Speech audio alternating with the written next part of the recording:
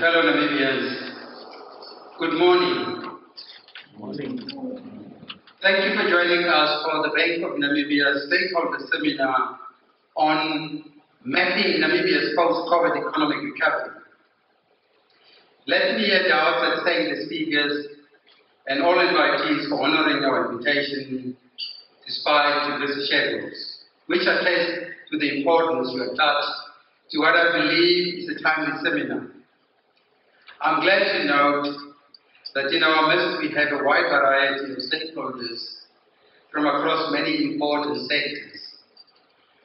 After the panel discussion, I would really love the Director of Ceremonies to provide an opportunity to those in the room to leverage the collective wisdom of the room. If there's anyone with an idea about how we can grow this economy, today is your opportunity to do exactly that. As we grapple to find ways to economic recovery post-COVID-19, the theme for this seminar is both timely and relevant. Firstly, it allows us to interrogate how best and how far we have implemented micro and macroeconomic policy interventions to address the challenges imposed by COVID-19 pandemic on our economy. Secondly, it also allows us to shape the post-COVID-19 economic environment with appropriate policy interventions to usher in a period of recovery and long-term growth. COVID-19 continues to have far-reaching effects on people's lives in solving our challenges has long ended. Apportioning blame is neither helpful nor will armchair criticism without offering practical solutions contribute to improving the quality of lives of Namibians. The time has come to pinpoint the source of uncertainty, to pinpoint bottlenecks to growth, and getting rid of them and galvanizing the level of economic activity to restore growth through complementary policy interventions. In this regard, we have a collective responsibility, regardless of the sectors we may find ourselves in. Many people are asking, what has the Bank of Namibia done so far to help restore economic recovery? Director of ladies and gentlemen, allow me at this point to briefly narrate the COVID-19 story and touch on some policy measures put in place to address the impact of COVID-19 in Namibia.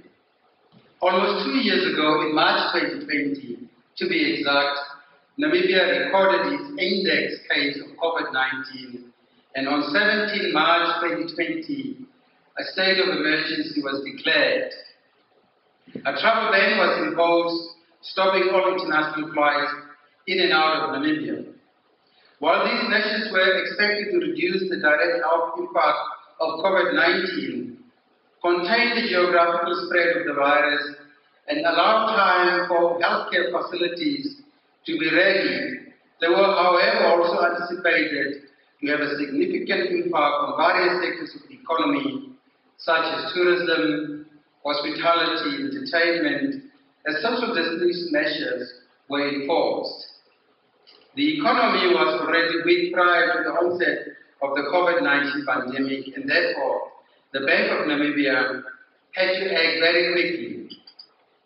Against this background, the Monetary Policy Committee, of the MPC of the Bank of Namibia, reduced the repo rate in March and April 2020 Firstly, on the 20th of March 2020, the MPC held a special meeting and reduced the repo rate by 100 basis points to 5.25%.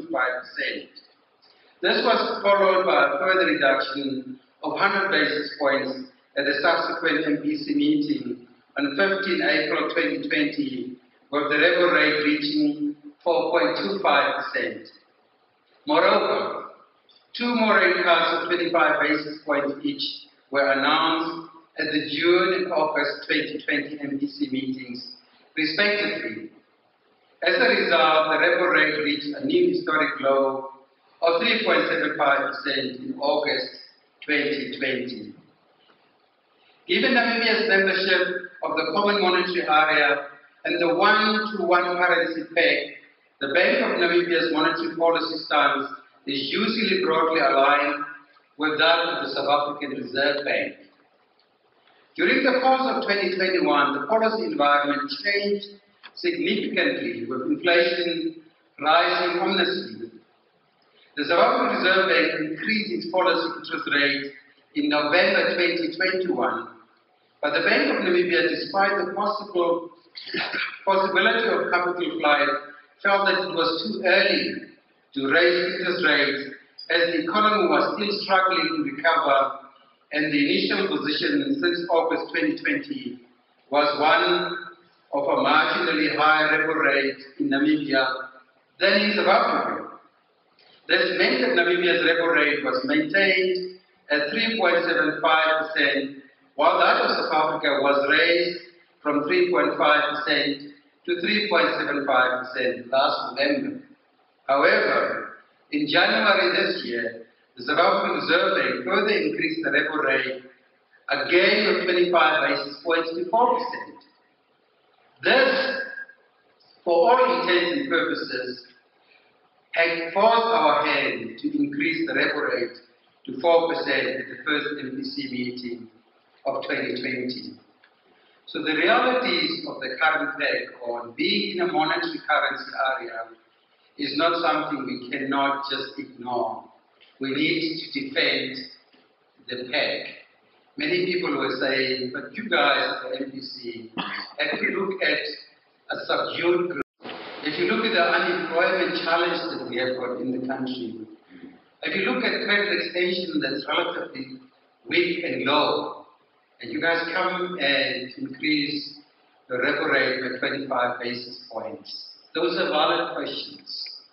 I hope you can go beyond that and also start asking. Every economist in the room will talk to you about the impossible trinity or the trilemma challenge that we have got. You cannot have in a monetary current area where we have pegged our currency, try and run totally independent monetary policy. That, that's not possible.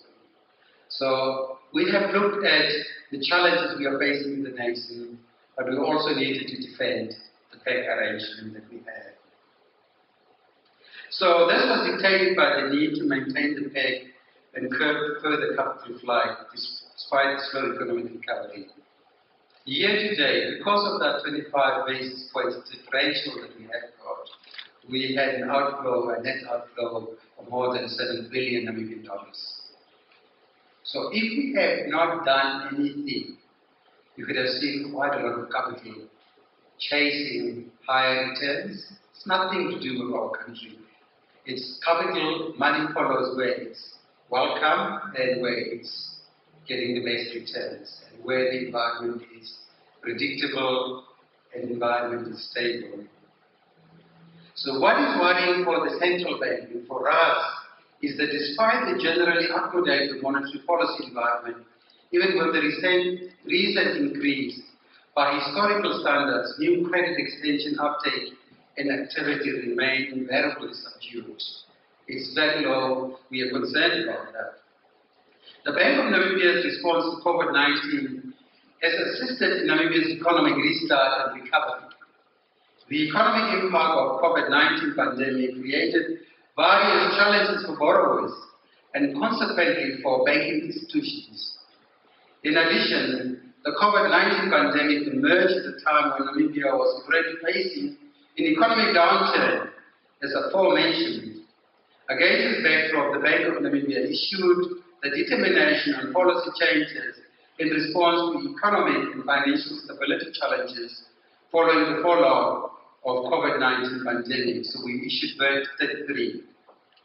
The determination VIRT 33 makes provision for banking institutions to grant capital payment moratorium where a holiday is allowed on the principal amount for a period ranging from six months up to a period but not exceeding 24 months, two years. In order not to withdraw these measures prematurely, a revision of VIRT 33 was done in October 2021 and we have decided to extend this further to April 2023. Other relief measures were granted on the capital conservation buffer, changes in the large exposure limits and the liquidity management limits for time bands of 0 to 7 days and 8 to 31 days that were reintroduced. The bank also agreed to amend the determination and asset classification and provisioning to lengthen the duration of period or period before loans should be written off. The holistic revisions include an amendment to the effective date, clarification of burden sharing, treatment of write-offs, including collateral haircuts in the BID 33 amendments, reinstitution of liquidity management limits, and reporting guidance on provisions reporting. The bank also supported other initiatives to ease credit conditions. These included the extension of the maximum period over which installment trade credit on motor vehicles can be repaid. This was raised from 54 to 72 months. Furthermore, the maximum loan-to-value ratio on mortgage loans for the acquisition of secondary residential properties was also raised. This made it possible to purchase additional properties using a home loan. Furthermore, what we have done is, together with, with the Ministry of Finance, we provided a 500 million Namibian dollar guarantee towards the SME COVID-19 loan scheme. The take up is very low, despite the financial distress that we have got. So it's probably reflective of the economic activity. We probably have got a situation where the capacity utilization is low, the demand is almost non-existent, and there's probably no point in getting additional credit to, to run your businesses because demand is very subdued. Despite the amendments made to BID 33 and low interest rates, growth in credit extended to the private sector was slower in 2021 compared to 2020 due to lower demand, mainly because of persistent subdued domestic economic activity. As I stated earlier, notwithstanding the lower interest rates on an annual basis, growth in PCE moderated to an average annual rate of 2.5% in 2021 from an annual average of 3.5% recorded during 2020. Low interest rates and special relief measures can only go so far, and sadly some businesses that were already reeling from the contractions of the pre-COVID years, thereafter amplified by the COVID-related disruptions, could not be rescued. Reflecting the economic difficult conditions the non-performing loans in most of the banks increased relentlessly up to the third quarter of 2021 when it reached 6.9% of the loan book. Fortunately, in the fourth quarter of 2021, the non-performing loans ratio receded slightly, which may be an early sign the worst fallout of the pandemic is behind us. Ladies and gentlemen, monetary policy alone is not enough.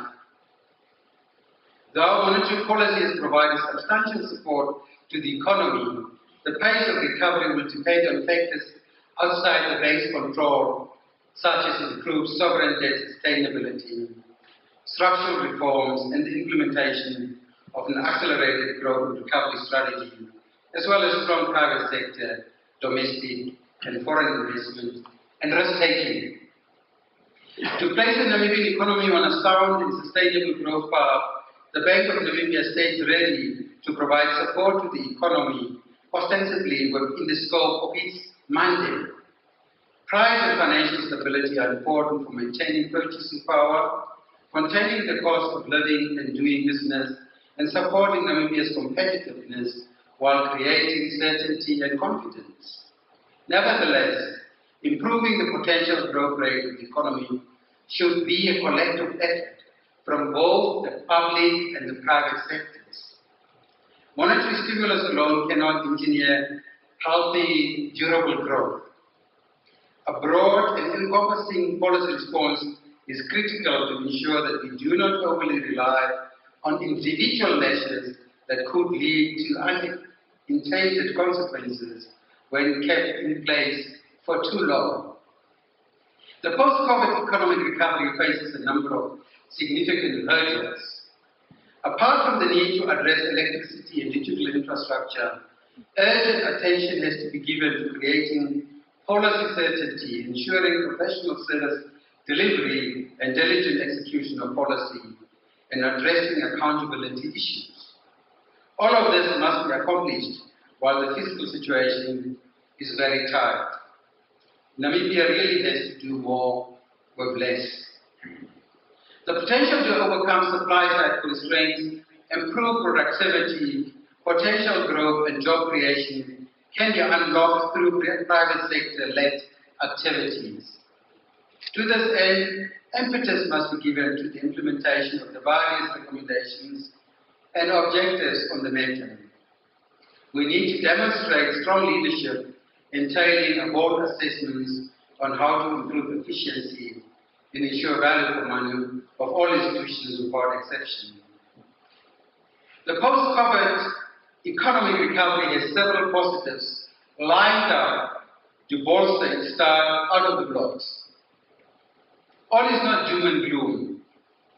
The green hydrogen initiative is progressing significantly. Our port infrastructure has already been upgraded so that a virtual doubling of traffic can be handled. The recent qualifying of the sea stirred considerable excitement. A number of mining and manufacturing projects are underway or in the pipeline. In the past three years, the mining sector also invested 14.1 billion Namibian dollars, or 7.2% of gross domestic product. The cumulative investments, that's the sum of investments in the past three years, and ongoing investments by the mining sector in the economy is estimated at 20.6 billion Namibian dollars. Work of investments equivalent to 10.5% of the 2022 gross domestic product. Furthermore, research work in collaboration with the Harvard Growth Lab on diversifying the economy to raise our growth is progressing well. Specific sectors have been identified in linkage is proposed with markets. So what we're trying to do was really to reduce the reliance on external demand for commodities. How do we diversify our economy? Towards this end, brought in the Harvard Growth Lab, we looked at some competitive advantages we have got already. What are the adjacent industries? If you are involved in mining, for instance, we import quite a lot of chemicals. Is that not an adjacent industry that we need to look at, like chemicals, and create a chemicals industry in the country? Because all the mines are importing sulfur, whatever chemicals they, they need. So what they have done is a really interesting piece of work. We've identified some adjacent industries that can be developed in the country. A selection has been made potential markets for those industries that have been identified and proposed, and now it's really taking this to the next level. The tourism sector stands ready to capitalize on further lifting of pandemic-related restrictions and normalization of visitor numbers. And in the meantime, the national spirit has been lifted by the widespread rains that have fallen across Namibia, transforming many frowns into smiles and bringing the promise of higher production in this very decentralized sector that employs 170,000 Namibians. So how will we see economic recovery and growth in a post-pandemic Namibia? Well, the first thing I might say is that we are not finished with the pandemic just yet. And if I were to be asked to volunteer some thoughts beyond monetary and financial stability, on Namibia's post-COVID recovery, I would probably suggest the first thing we need to do is to contain this pandemic, that we don't get others restrictions again, or lockdowns. But if you ask me, what should we do in the short to medium term? I'd probably say improving domestic resource mobilization and specifically tax compliance, better coordination of government policies and programs, and elimination of fragmentation and inefficiencies. Private sector investments in high levels absorb, absorptive sectors such as agriculture, promoting and attracting foreign direct investment through incentives in exchange for jobs and export earnings, reforming, strengthening, and optimizing our SOEs, especially the commercial ones. There is need to demonstrate in the most practical way government efforts to move towards an arrangement where we can enhance the efficiencies of our state-owned enterprises. Structural reforms to enable growth, and this includes leveraging our assets and developing self-sustaining economies in our municipalities, towns, and village councils. They are so dependent on what's happening, and I'm wondering whether the time has not come so for self-sustaining economies in our municipalities, in our towns, local councils. I was quite impressed to see one of the boroughs in London. You know, they have challenge of housing, and the borough has decided we are going to go and raise our own money to get involved in provision of housing. I don't say we should. That's just an example of how we need to think differently about creating some innovations in the way we are running our councils, our municipalities. Energy transition from fossil to renewables. Technological progress and know-how agglomeration are fundamental to the process of structural transformation that characterizes economic development. And what we should do is to remove rigidities, promote competition and inclusion. These are some of my thoughts on how we can jumpstart the economy. But obviously, this is what the seminar is made for. And further thoughts and policy recommendations will come from this platform. We have speakers, we've got panel discussion, and we've got a room full of Namibians from various sectors that can contribute towards how we can really restore economic growth. Finally, Desmond Tutu stated, in a quoting, it may appear lonely, but I'm a prisoner of hope. We are more connected than ever before. We have more knowledge, and if we work together, there are solutions. Close quote. This, ladies and gentlemen, is our charge, and it necessitates collective action and unity of purpose because we are only as good as the community or economy in which we live. With that, I thank you for your attention.